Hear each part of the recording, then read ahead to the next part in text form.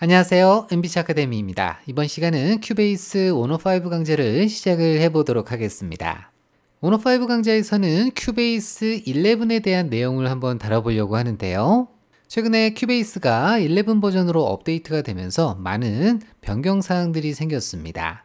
그런데 강좌에서 그런 기능적인 부분만 언급하기에는 이미 여러 가지 영상에서 큐베이스 공식 홈페이지에서도 자세하게 설명을 하고 있기 때문에 여러분들께서 그런 영상만 보셔도 기능적인 부분은 금방 확인을 해 주실 수가 있고요.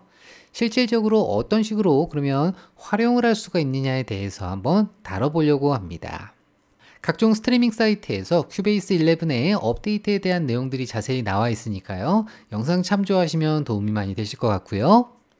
그러면 주요 기능에 대해서 짤막하게 한번 살펴보고 강좌를 이어나가 보도록 하겠습니다. 11 버전에서는 여러 가지 DAW들의 장점이라든지 그리고 특정 뭐 예를 들면 iZotope이라든지 이런 외부 plug-in들의 장점들이 통합이 되어졌다고 볼 수가 있게 되겠습니다. 첫 번째로는 export의 변경 사항이 있게 되겠습니다. 기존부터 multi export는 지원을 했었는데요. 예를 들면은 mp3로 export를 하고 웨이브 파일 포맷으로는 또 한 번 export를 하고 뭐 이런 식이었는데요. 업데이트가 되면서 export를 할 때 queue라는 기능이 생겼습니다. 이 기능을 통해서 여러분들께서 export를 하실 때 여러 가지 조합을 만들 수가 있게 되겠고요. 그 조합별로 출력을 할 수 있는 아주 좋은 기능이 생겼습니다. 그래서 mp3 버전, 웨이브 버전 이렇게 동시에 출력을 할 수가 있게 되겠고요. 그 다음에 multi로 export를 하실 때도 여러 가지 조합별로 queue를 만들어서 export를 하실 수가 있게 되겠고요. 그 다음에 링크 기능이 추가가 되었기 때문에 arrangement에서 선택되어진 애들을 export 화면에서도 동기화를 시켜서 선택을 할 수 있는 그런 기능까지 탑재가 되어졌습니다. 그리고 export를 하실 때 기본적인 insert라든지 뭐 channel strip에 걸려져 있는 여러 가지 처리들을 적용해서 export를 하실 수가 있게 되겠고 그 다음에 그룹 트랙에 적용된 것들 그 다음에 send와 return 방식으로 적용한 effector들 이런 것들까지도 동시 적용을 해서 출력을 할 수가 있거나 아니면 빼서 출력할 수 있는 기능들이 생겼습니다. 좋아요. 그리고 Cubase에 있는 샘플러 트랙 같은 경우는 슬라이스 기능을 지원을 하고 있지는 않았습니다. 물론 Groove Agent를 이용을 해서 slice를 할 수는 있었는데요. 이제 샘플러 트랙 안에서 slice를 활용을 할 수가 있게 되겠습니다. 여러 가지 hit point를 대입을 시켜서 재배치를 할 수가 있다거나 특정 부분만 사용을 할 수가 있다거나 이런 부분들이 추가가 되었습니다. 그리고 두 가지의 LFO를 적용을 시킬 수가 있어서요. modulation source로 활용을 해서 피치를 변화시켜 준다거나 필터에 적용을 한다거나 앰프 쪽에 적용을 한다든지 이런 기능까지 추가가 되었습니다. 그리고 scale assistant라는 기능이 추가가 되었는데요.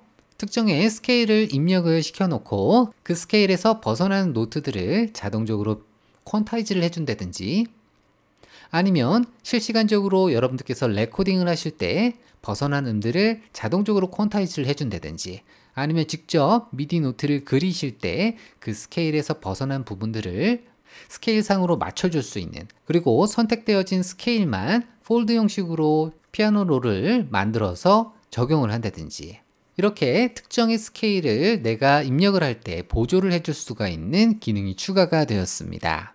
그리고 piano roll에서 한 가지 더 업데이트 사항이 있게 되겠는데요. 과거에는 piano roll을 전체 화면으로 봤을 때 예를 들면 뭐 ruler 트랙이라든지 마커 트랙이라든지 코드 트랙이라든지 아니면 비디오 트랙이라든지 이런 것들을 바깥으로 나가서 봤었어야만 됐었습니다.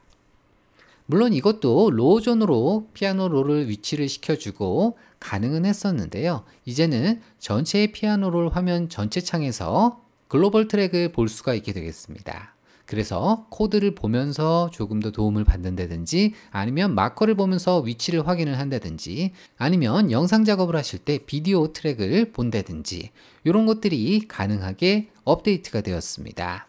그리고 piano roll에서 밑을 보시게 되면 미디 CC를 변경할 수 있는 부분이 나왔었는데요. 예전에는 피치 값을 변경할 때 조금 번거로운 점들이 있었습니다.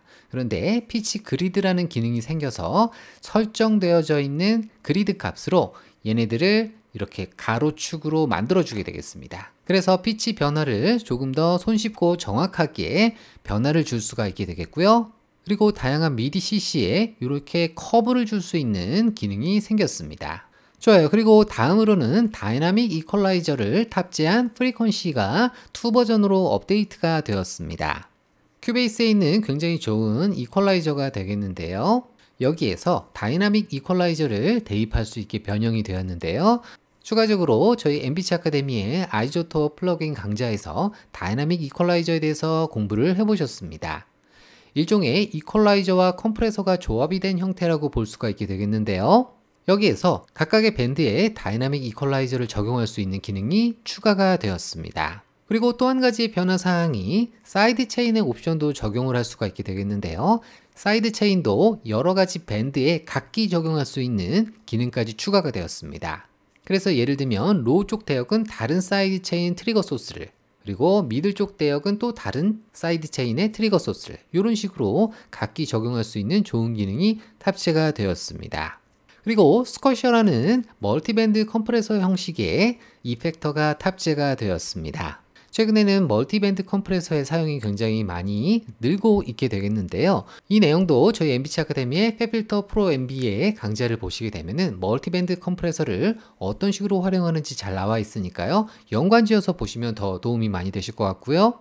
시그널에 밴드를 나눠서 여기에 각기 다이나믹 처리를 할 수 있게 되겠는데요. downward와 upward 형태로 적용을 할 수가 있게 되겠고 기본적인 compressor와 expander 그리고 게이트 그리고 saturation의 기능을 탑재를 하고 있게 되겠습니다. 좋아요. 그리고 score editor가 한 단계 더 업데이트가 되었는데요. 자사 제품이죠. Dorico에 폰트가 조금 들어왔다거나 아니면은 score view 상태에서 MIDI note를 조금 더 editing하기 쉽게 할 수 있는 note editing overlay라는 기능이 추가가 되었습니다.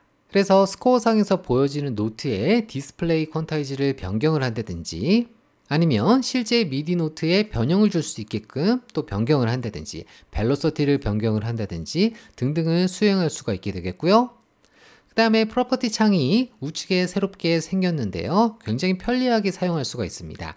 예를 들면 뭐 bar line을 선택하게 되면 그 bar line에 관련된 여러 가지 정보들이 우측에 나오게 되겠고 그 다음에 note를 선택하게 되면 note에 대한 정보들이 dynamic symbol을 선택하게 되면 dynamic symbol에 대한 정보들이 그래서 직관적으로 바로바로 바로 교체를 할 수가 있는 아주 좋은 기능으로 업데이트가 되었습니다. 좋습니다. 그리고 저희 MBC 아카데미의 iZotope 강좌를 보시게 되면은요. 이런 식의 imager를 통해서 어떤 식으로 스테레오감을 넓히는지에 대해서 공부를 해 보셨을 텐데요. 그 기능도 Cubase 11이 되면서 추가가 되었습니다. multiband 형태로 사용을 할 수가 있게 되겠고요. 특정의 대역의 스테레오감을 넓힌다든지 아니면 오히려 좁힌다든지 이런 기능들을 수행할 수 있는 이미저가 추가가 되었습니다. 그리고 자사 제품이기도 하죠. SpectraLayers Pro의 minimal 버전인 SpectraLayers One이라는 plug-in이 추가가 되었습니다. 요 같은 경우는 iZotope의 RX와 비슷한 기능을 수행한다고 볼 수가 있게 되겠습니다. 스펙트럼의 형태로 오디오 파형을 보면서 특정의 뭐 노이즈를 제거를 한다든지 아니면 특정의 harmonics 대역만 제거를 한다든지 뭐 이런 repairing 기능을 제공을 하게 되겠고요. 여러 가지 미디어에서 강조하고 있는 내용 중에 하나가 되겠는데요. 특정의 파일에서 보컬만 분리할 수 있는 기능이 있습니다. 그래서 여러분들께서 리믹스 작업을 하실 때도 유용하게 사용을 하실 수가 있는 좋은 기능이 추가가 되었습니다. 좋아요. 그 다음에 SuperVision이라는 plug-in이 새롭게 추가가 되었는데요. 요 같은 경우는 iZotope의 Insight라든지 여러 가지 metering tool을 차용한 거라고 볼 수가 있게 되겠습니다. 하나의 플러그인 화면 안에서 분할을 해서 여러 가지 뭐 spectrogram이라든지 아니면 level meter라든지 다채로운 여러 가지 meter를 한눈에 볼 수가 있는 plug-in이라고 볼 수가 있게 되겠어요. 좋아요. 그 밖에 여러 가지 sample pack들이 추가가 되었고요. 그 다음에 높은 해상도를 지원하는 모니터를 활용을 해서 이렇게 high DPI를 지원하는 기능이 추가가 되었습니다. 그리고 surround를 지원하는 multi-tap의 delay가 추가가 되었고요. 그 밖에 여러 가지 소소한 변화들이 있게 되겠는데요. 그러면 이런 주요한 기능들을 음악 제작에서는 어떤 식으로 우리가 활용을 할 수가 있을지 그 내용들을 다음 시간부터 같이 한번 살펴보도록 하겠습니다. 저희 그러면 다음 시간에 찾아뵙도록 할게요. 감사합니다.